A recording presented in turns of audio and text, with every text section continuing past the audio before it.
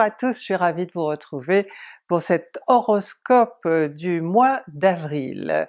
Euh, vous vous abonnez, vous likez la vidéo euh, si vous le voulez bien, et puis donc il y a toujours hein, les consultations avec Zoé ou avec moi, nos réseaux sociaux, Twitter, Instagram, la page Facebook, euh, vos vidéos de la semaine, et une fois par semaine, le mardi soir, vous avez un live où vous pouvez nous poser des questions à Zoé et à moi.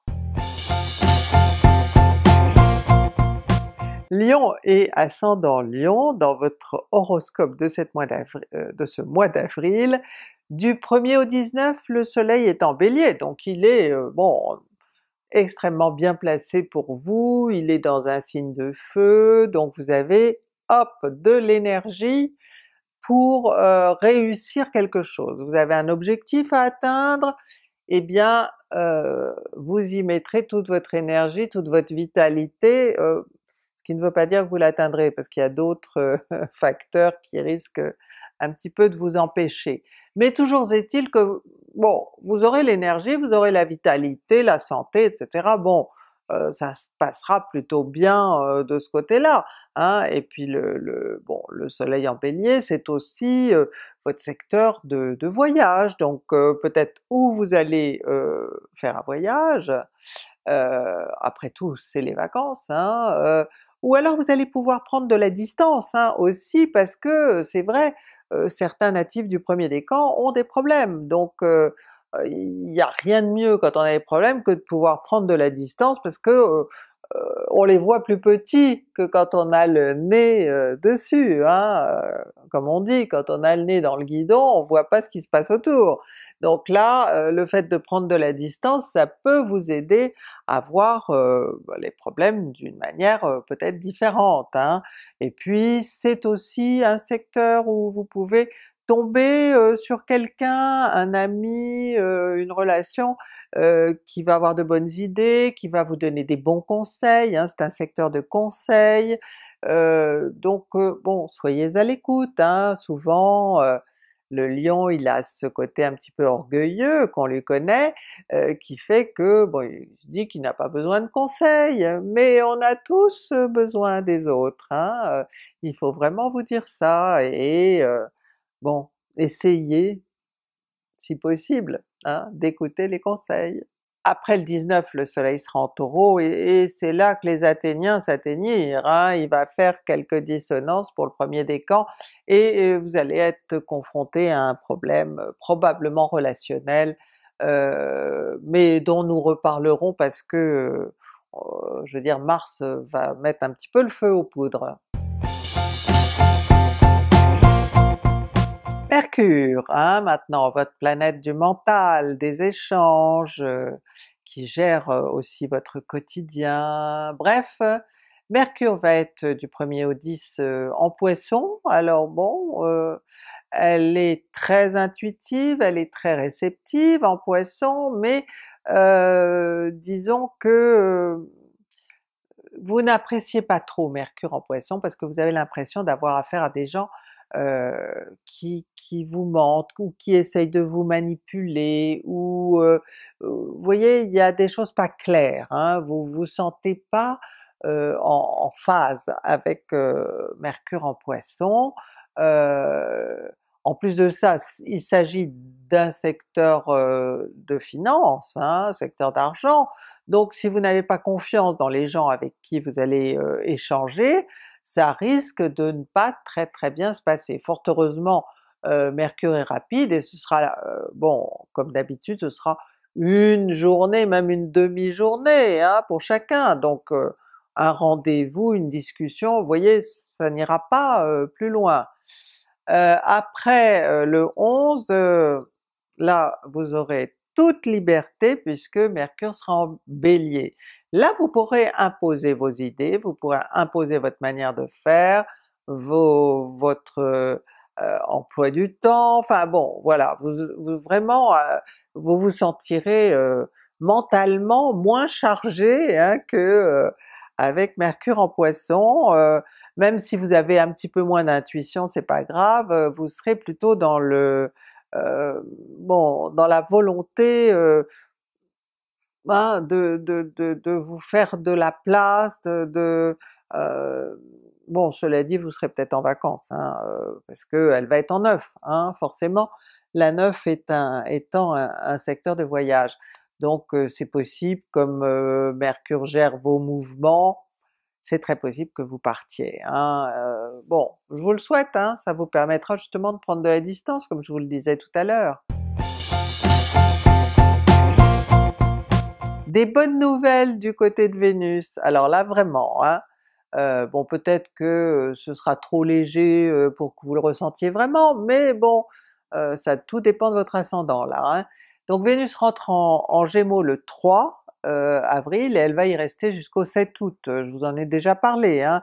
c'est la boucle de Vénus de cette année qui est vraiment bon très légère. Hein. Le, le, Gémeaux il a envie de s'amuser, et, vous aussi, Hein, avec cette Vénus du Gémeaux, vous aurez envie de vous distraire, et vous aurez bien des raisons d'avoir envie de vous distraire parce que bon, il y a des choses un peu lourdes à côté. Donc ça va vous aider, hein, cette Vénus euh, des, des, Gémeaux, vraiment elle va vous être très utile. D'abord parce que, bon, peut-être vous prendrez certaines choses un peu moins au sérieux, et ensuite il y aura quelqu'un. Il y aura quelqu'un près de vous euh, qui va vous épauler. Hein.